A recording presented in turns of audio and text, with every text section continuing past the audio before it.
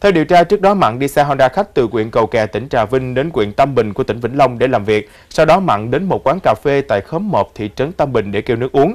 Lúc này thấy chiếc xe mô tô mang biển kiểm soát 64H1 8839 của anh Nguyễn Phước Hiền, 48 tuổi ngụ tại địa phương, đậu gần đó nhưng chìa khóa vẫn còn gắn trên xe. Ngay lập tức Mặn nhảy lên nổ máy và chạy đi mất. Tuy nhiên chưa chạy được bao xa thì đối tượng bị người dân phát hiện truy hô và đuổi theo. Gã đàn ông này sau đó va chạm với một xe máy đậu bên đường té ngã và bị người dân bắt giữ. Tại cơ quan công an thì Mặn đã thừa nhận toàn bộ hành vi phạm tội của mình.